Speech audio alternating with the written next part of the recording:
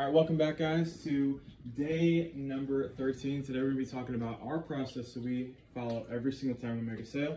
So for example, today we made a sale here um, on this Madewell Women's new with tags linen blend cargo pants. So what we do first is we're gonna come up here to where it says Vendoo. We're gonna click these little three dot buttons here. We're gonna tap that. And then since this is already marked as sold, it's typically gonna say mark as sold. So we already did that process, we already did that step.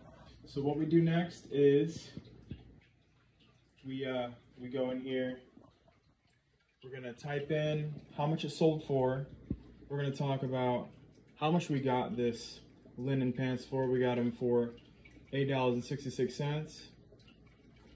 Uh, the fees for Poshmark took out $10.20 and shipping was zero since we always have the customer pay for shipping. So there's that. And, and so what we got next here, we take each item, we take every single sale very seriously. We want to make sure that the customer receives the package and gets it in good condition every single time. We like to put it in a seal that it may already come with. So for example here we got we got these Madewell linen pants. We like to put a business card in there and also have that SKU number that we talked about. You guys should be a pro with SKU numbers now. So what we do here is we take this, we get ourselves one of these poly mailers. By the way, if you want to use these, use these same poly mailers, this item here, these uh, KK Best Pack, they're uh, black poly mailers. They're 12 inch by 15 and a half inch. We've used these every single time and we've got consistent good reviews. All right, so we're going to, oh wow, those other ones are gone already. Okay, so we're gonna go ahead and open this new pack here.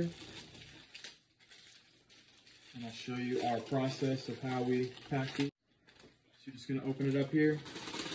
I highly do not recommend taking this off first. You want to put your item in nice and neat. So we're to take that there. Just like that. Make it fit perfectly with the bag. And what you're going to want to do is take this little clear film off. Be careful for it to not fall over or anything because it will rip the bag once you try and take it off. This goes in the trash.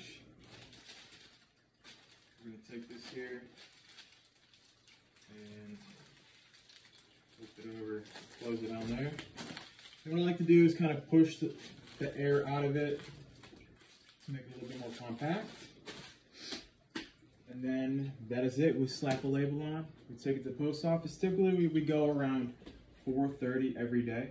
That way, if we make a sale and we drop it off in the morning and get another sale, another sale, then we have to go to the post office again. So we like to just choose going at 4.30 every day, and our post office closes at 6 here in Wisconsin.